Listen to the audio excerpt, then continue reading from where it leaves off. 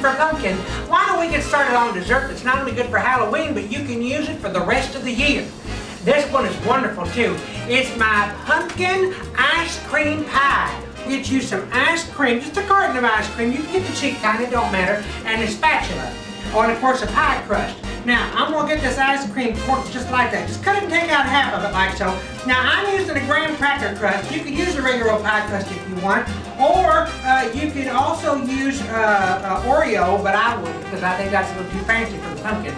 Right, so I'm gonna go ahead and take that and set it over here to the side. Now you can put it in the refrigerator if you want, but I think it needs to soften a little bit more before we continue. Okay, we're gonna put in some sugar just like that. There you go. And then we're gonna need a little bit of salt. Let me just reach over here and get me my salt shaker. Oh, I just love these little salt people. I think you put in some salt like so. Uh, some cinnamon. Now you can do it however you want to do. I personally like to just measure it in my hand. I think you can tell the difference. Here, for example, now look at that. See? Now how much does that look like to you? Well, if you said half a teaspoon, you'd be right. We're going to put that right in there. And then we're going to get us some uh, ginger, which is real good. There you go. See, I'm telling you, you can do it right there with your hands. And then we're going to put in a fourth of a teaspoon of nutmeg. Now, some of y'all may want to measure this out, but luckily I've got petite hands so I can tell. Okay, now we're going to get you one of the pumpkin pie cans, you know, the kind that has a pumpkin pie filling in already. Take that, open up, it don't matter if it's got sugar in it or not, and just scoop that baby out just like so. By the way, I've already had some trick-or-treaters come over. Believe it or not, it was little Leslie Jordan from Will and Grace, Bea Arthur from Golden Girls, and Kirstie Alley from Cheers. And I think my husband got a picture of him. Now, I'm not sure what uh, Leslie and uh, Bea is supposed to be, but I know uh, Kirstie was going as a truck. Now, the next thing we're going to do is get us some whipped cream. We're going to put that whole thing right in there, just like so. Get it all in there.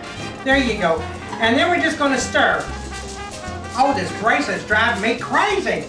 The last thing you want to do is get, let me get that out of there take that off. The last thing you want to do is find a bracelet in your pie.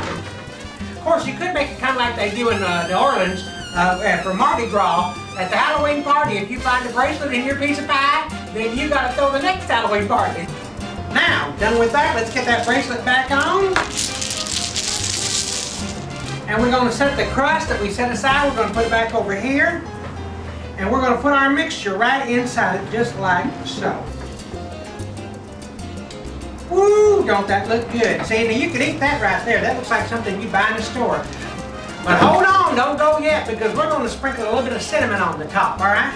Just sprinkle some cinnamon on like that. You could also put a little nutmeg on there if you want, just a little nutmeg, and even some pumpkin uh, uh, spices if you'd like to put that on there. Just put some of that like so. And then we're going to put this pie that we've got already created here, we're going to put it in the uh, refrigerator, in the freezer actually, Okay, now we're going to put that in there and let it freeze for about, oh, say uh, an hour to two hours. Uh, just pull it out 20, 30 minutes before you're ready to serve it so you can cut it up real easy because that thing's going to get real good and frozen. Speaking of freezing, you know, it's about the time of the year when you want to have your car checked. You just want to make sure that your car is prepared for the bad weather that's about to come. As a matter of fact, my good friend uh, Tana Tinklemeyer in Arkansas also has her airbags checked. And like you can see here in this picture, her airbags are good this year. Now let's try our pie. I found one I haven't already made in here. Let me pull this out for us. Woo! Let's go! oh, hang on. Let me heat my hands up for a second here. All right. Now let's try a bite of this. Here we go. Mmm. Mmm. Oh, that's so good it'd make a Lutheran pass on a beer. Yeah, I'm giving that the thumbs up right there. See, now you got a dish that looks like it's about as hard to make as it is to get Britney Spears in a pair of jeans. But in actuality, it's easier to make than Courtney Love during happy hour. Anyway, so I'll talk at you next time.